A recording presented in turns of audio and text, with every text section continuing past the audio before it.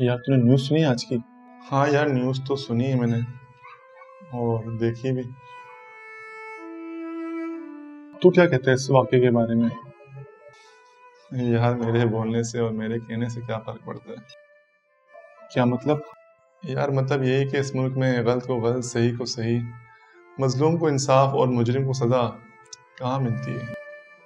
यार देखो जब तक गरीब की बेटी को इंसान ना समझें और हुक्मरानों को अपना खुदा मानते रहेंगे तो हमारा तो यही हाल होना यार।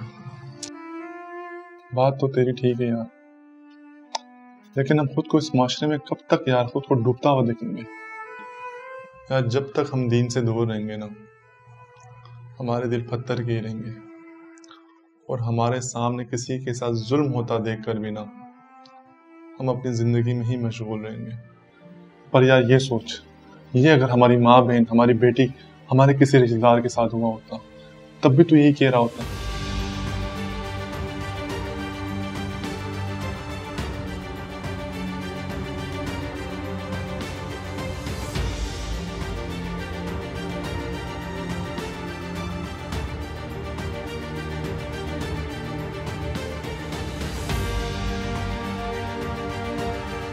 यार देख, मेरी बातों को गलत मत लेना।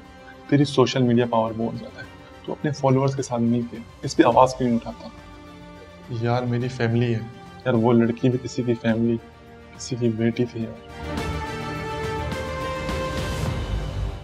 यार तो ठीक कहता है।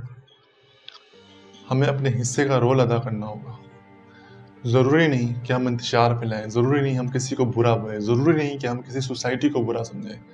ज़रूरी नहीं कि हम गवर्नमेंट को ही हमेशा ये कहें कि गवर्नमेंट की गलती है। हमें जुल्म के ख़िलाफ़ आवाज़ उठानी चाहिए। हमें ये नहीं देखना चाहिए कि कौन गलत कर रहा है, कौन सही कर रहा है। जिसके साथ गलत हो रहा है, हमें उसकी आवाज़ बननी है।